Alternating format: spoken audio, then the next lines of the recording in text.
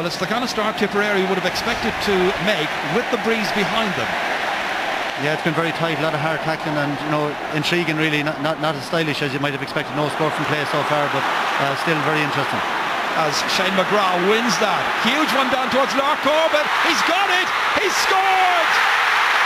A goal by Lar Corbett! His 17th ever in hurling. A crucial one here, coming after 10 minutes.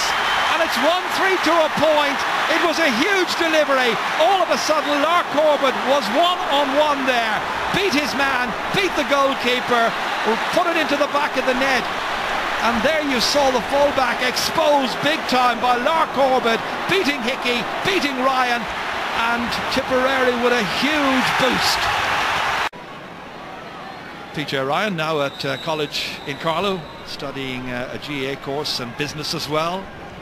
Just finished year one of a three-year course. Tucking it out towards Eoin Larkin. Bounces back out here towards JJ Delaney.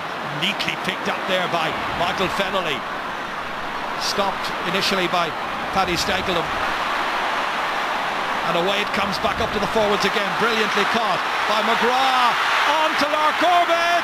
They fire hurleys at him, but nobody's able to stop Lar Corbett, who's in for a second goal to delight the Kilkenny fans.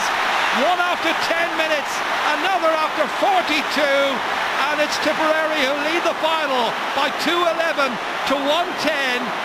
As he was striking it, they were firing hurleys to try and stop him, but nobody able to put paid to the gallop of the fearless Sarsfield Star.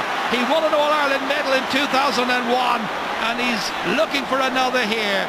And there's a yellow card for John Tennyson, That's the thrower of the hurley. But Brian Cody will be the first to acknowledge that Tipperary were the better team this afternoon. He got it right. Most of the attention was on Henry Shefflin and the knees and the five in a row and all the rest of it. Tipperary kept nice and cool, just as John Dalton is right now getting that ball away, but only delaying the inevitable.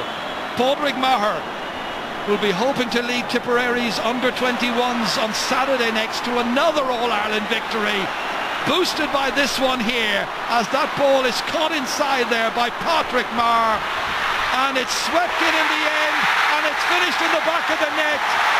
And there is another one for Tipperary, and for Liam Sheedy. And Lar Corbett has got a hat-trick in the 73rd minute.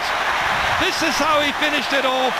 Maher played it to him and Lar Corbett with three to make it 417 to 117 and it's a terrific day for the Premier County.